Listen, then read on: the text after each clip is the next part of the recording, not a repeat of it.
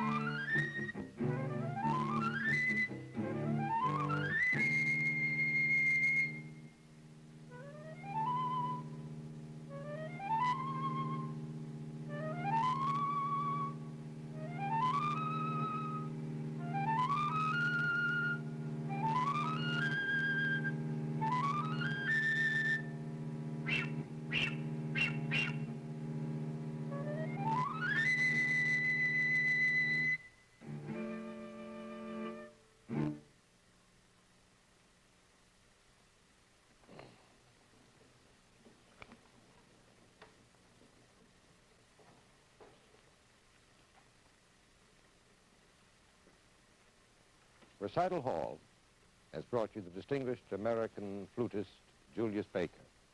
Appearing with Mr. Baker was Dr. Vladimir Sokolov, pianist, and David Soyer, cellist.